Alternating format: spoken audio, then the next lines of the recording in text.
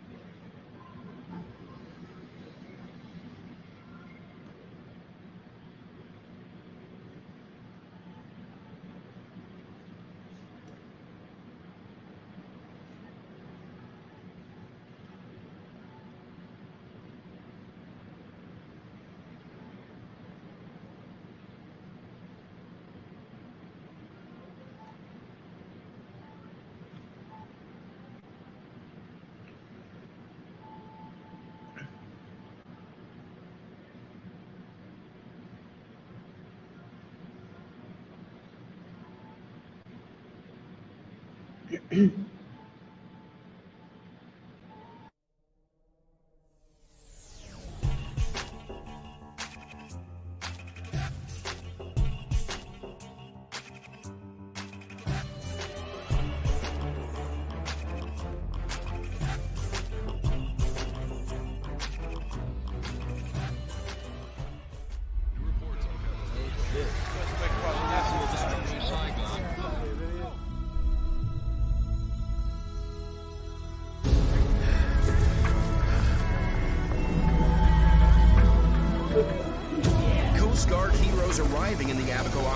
Five young boys create a rescue trampoline.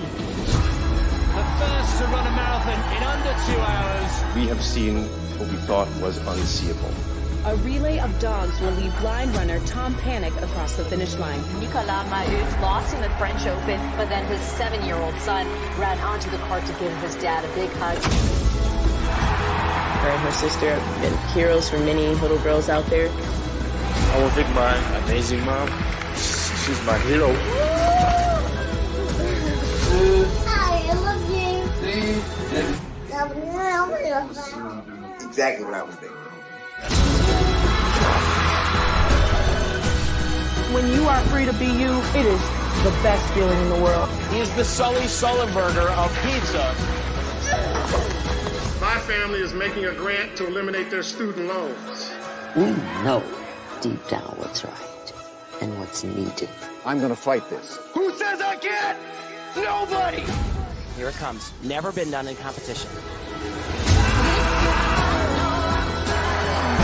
The category is love, y'all. Love! Use your heart, your courage and vision to fix, to heal, to empathize, to connect. Because living life for something bigger than yourself is a hero's journey.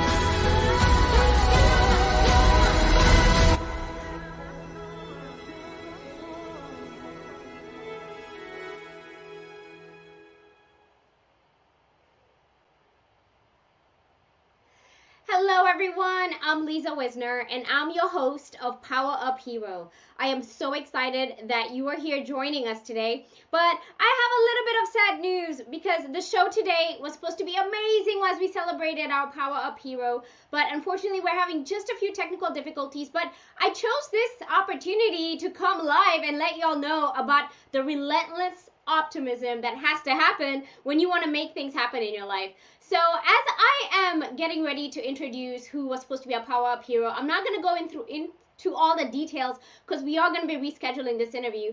But I just wanted to point you in the direction of thinking about what do you do when things go wrong?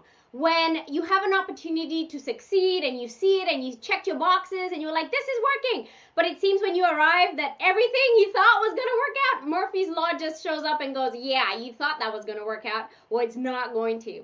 And that may be just a little bit of what happened today, but I'm used to this. I've actually been having a lot of these Power Up Hero interviews, and I would say we're probably batting 80 20% are not working out. 80% are working out in terms of technical difficulties. But you know how it is. You learn and grow through the challenges. So i'm just excited that we had this opportunity to learn a little bit more about um, how to make our process better and optimize it. But i wanted to just tell you a little bit about our hero. I want to bring her on actually just to kind of talk to us a little bit about um, what she does. So for those of y'all who are watching um, our hero today was supposed to be Nikki, and we do have some people who are like, yeah, we wanted to see Nikki uh, be celebrated as a hero. So, Nikki, can you talk so that we can hear what you sound like? Because your audio is not good, right?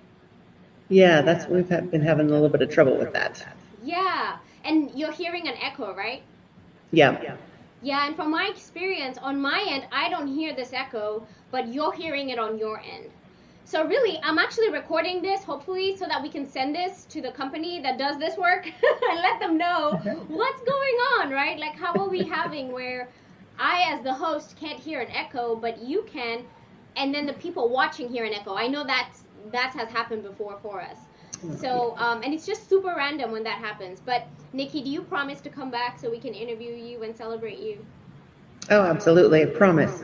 Yes. Well, and it's kind of it may work out because you are you actually ended up being literally in your store right now, right? At Made in Corpus yes. Christi. Yes. Yes. So those of you who are watching and you still want to talk to Nikki for a little bit, you could drive if you're in Corpus Christi. You could drive over to Made in Corpus Christi, which is downtown Corpus Christi. What's what's the address over there where you're at? It's 1524 South Staples, so we're right outside of downtown. Fantastic. Okay. So that's, I guess, as much as we have for everyone today, because you guys are probably hearing the echo on your end. So we're just going to close things off knowing that Nikki and I are going to reschedule this interview. And if we end up having to record it and it's not live, that's okay. You're still welcome to send your comments whenever you watch it live. But to close things off, we have a little video for you about relentless optimism. We hope you make today a powered up day.